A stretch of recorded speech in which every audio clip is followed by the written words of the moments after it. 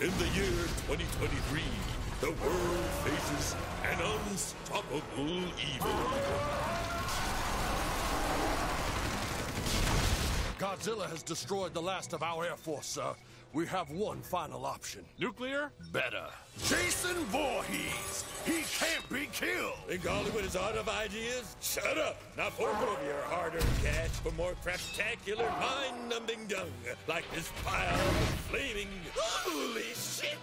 actually see this! I mean, like, not on a Friday night, but I'd get baked and make an afternoon of it. No way! Did you see that? Right up the flame, like a fire salmon! Godzilla versus Jason. This remake mashup bullshit just got good. Dear God!